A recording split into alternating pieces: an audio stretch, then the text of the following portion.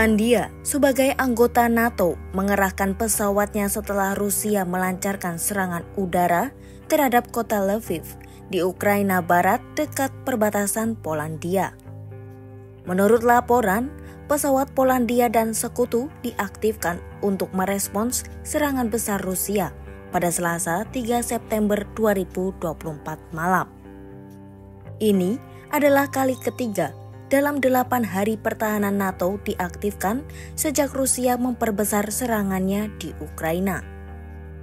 Media Al Jazeera melaporkan setidaknya tujuh orang dilaporkan tewas di Lviv dan banyak lagi yang terluka akibat serangan pesawat tak berawak dan rudal.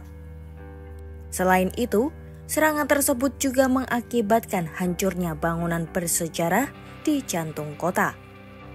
Wali kota Lviv Andriy Sadovi menyebutkan setidaknya tiga anak termasuk di antara korban tewas. Ia juga menunjukkan kerusakan pada lebih dari 50 bangunan di kota.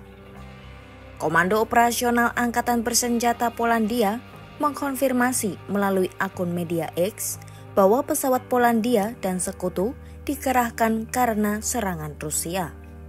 Komando tersebut menuliskan, ini adalah malam yang sangat sibuk bagi seluruh sistem pertahanan udara.